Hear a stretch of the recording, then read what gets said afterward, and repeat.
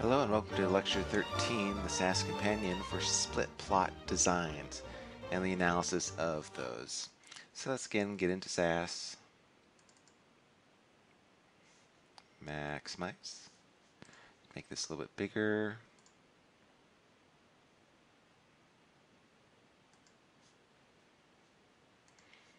Okay, so we're actually going to be doing, let's see, what are we doing? Example 10.7 on page 557, which means we'll be inputting the data from uh, 10.19. So, boom, data, let's call it DT1019.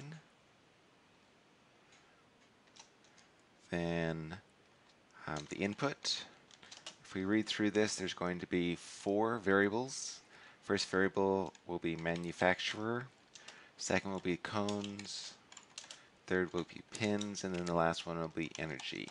That last one is the dependent variable. Instead of having me just having you watch me uh, type in all those numbers eventually, let's go ahead and just copy and paste them in. They're all there, I hope. Just to double check, let's do proc univariate.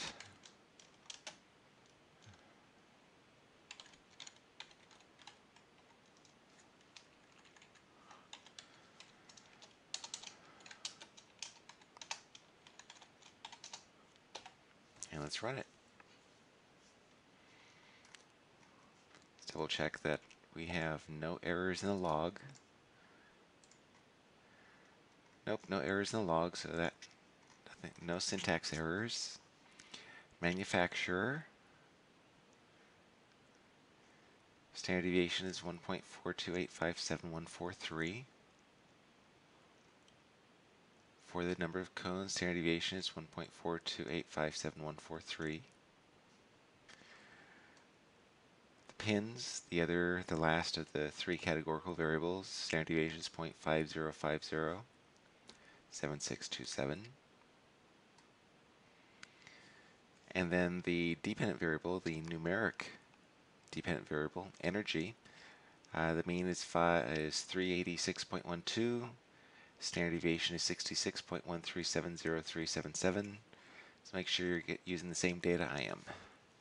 All right. So as usual, let's go ahead and try to replicate the data or the results in uh, table 1020. Oops. So this will be the table 1020. Which proc should we use? Yeah, believe it or not, it's going to be proc GLM again.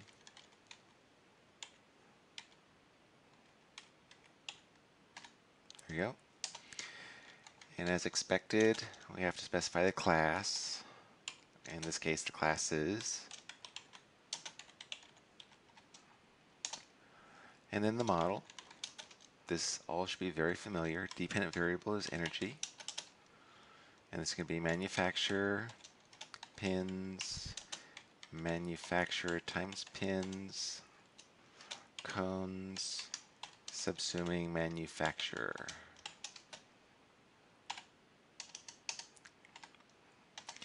And then last but not least, specify random, the random effects, pins, and cones as a function of manufacturer. And there we go. That's the typical GLM. I mean, we've seen this before. We probably could have guessed. Let's go ahead and run this and see what we get.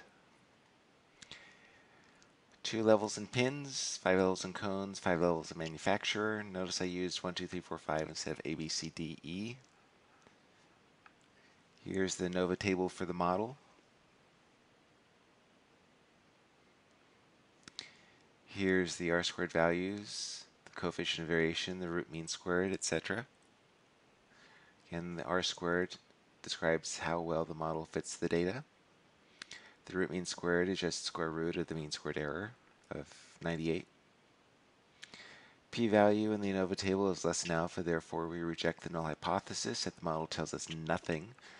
And we conclude that there is information in the model about the dependent variable. Type 1 sums of squares, type 3 sums of squares, focus on the type 3s, but notice they're the same at this point. That won't be true in the future. Type 3s are the ones that you should be using. Manufacturer, there's four degrees of freedom. That should not surprise us because there's five levels in manufacturer. Pins, there's two degrees of freedom. Doesn't surprise us because there's two levels in pins. Pins times manufacturer is four. Doesn't surprise us because one times four is four. The number of degrees of freedom of error, I mean, have the model is 29. 29 minus 4 minus 4 minus 1 gives us 20. So that's the number of degrees of freedom for the cones in manufacturer. Here are the F values. Here are the P, va the P values. Let's look at the expected mean squares to determine which of these uh, P values and F values are appropriate. For testing manufacturer, then you want to make sure that everything is gone except for that which means we should be dividing by error and cones in manufacturer, not just error. So that F value is not appropriate. So how do we get the right F values? Well, remember back when we were just learning how to do random effects, the test function, or the test option. And here's what's added. Here's the manufacturer, 4 degrees of freedom, same type 3 sums of squares, mean squared is the same, f value is different. The f value before was 471.48, it's now 36.31 because the 471.48 was the mean squared for the manufacturer divided by the mean squared error, which doesn't isolate what we want it to isolate. We want it to isolate just this part.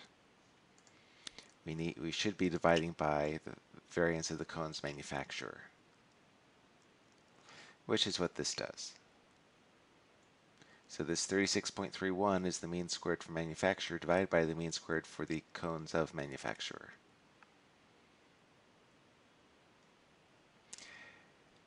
And the rest of these are the same as above because they all should have the mean squared error as the denominator.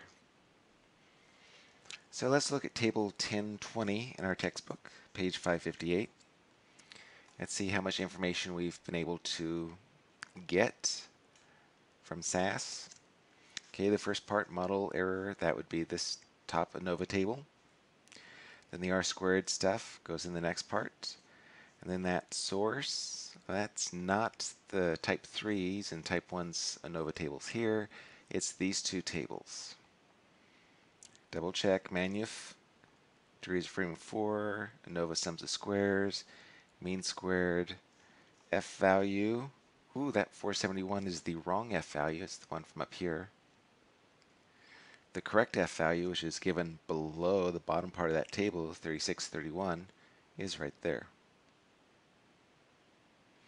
So again, pay attention. Well, you got two options here. One, pay attention. I always encourage paying attention to which mean squared you should be dividing by to get the F value. Because not always should you be dividing by the mean squared error. In this case, you should be dividing by the mean squared of the cones in manufacturer. Because manufacturer contains the cone variation along with the mean squared error. Or you can just throw on the slash test and that will almost always give you the right answer. Now let's look at table 1021. This will be the uh, Tukey test. Let's go ahead and see if we can recreate that table as well.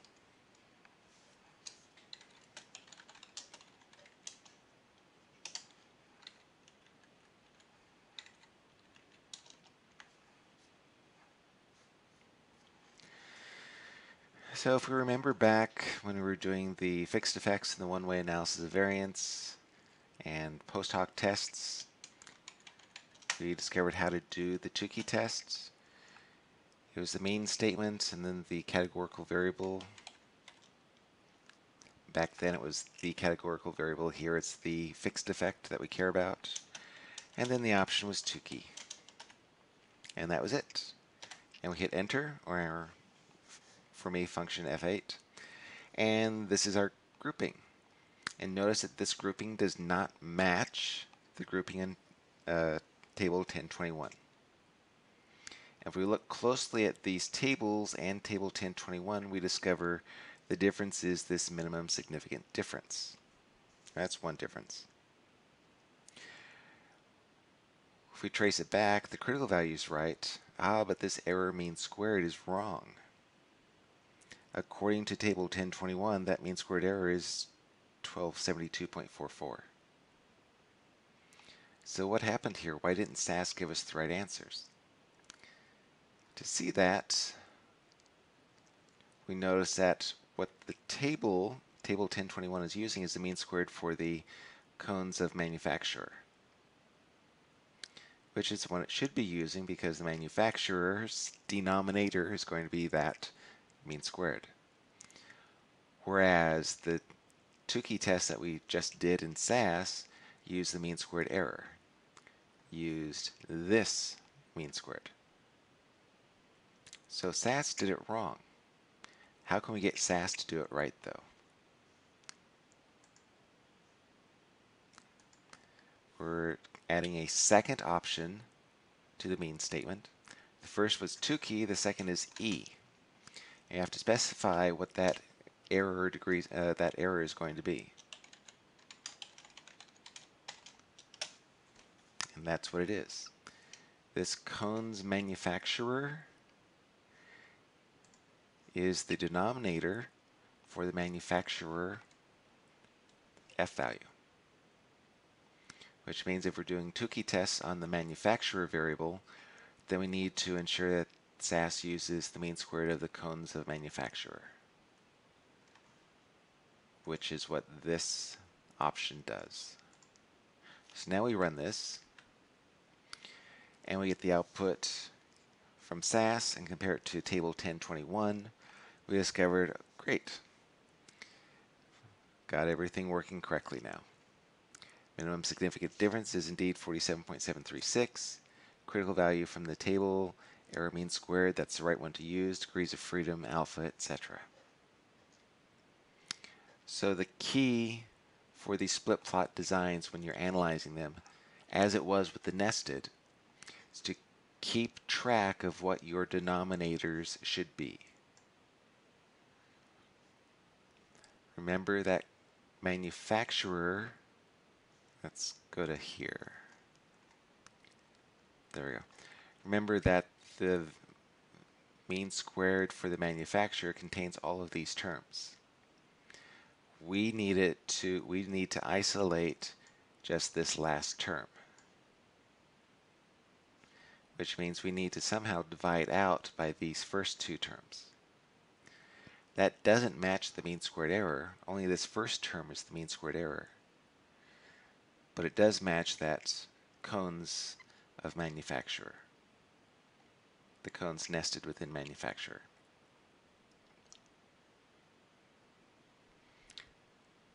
So again, as with nesting, split plot, it's all about the denominator. Be aware, you really do have to make sure about this, of what your denominator should be, what those sources of error are that you need to control for. And then figure out a way of telling SAS what that is. And for the Tukey test, it's E is equal to that source of error.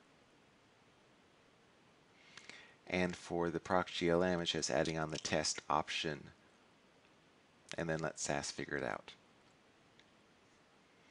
So that's it. That is Split Plot Designs, Lecture 13 SAS Companion.